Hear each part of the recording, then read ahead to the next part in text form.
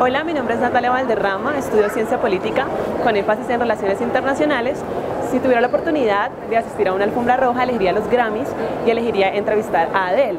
La pregunta que le haría es cómo ha influido su pasado sentimental a la hora de escribir sus canciones que han sido todo un éxito.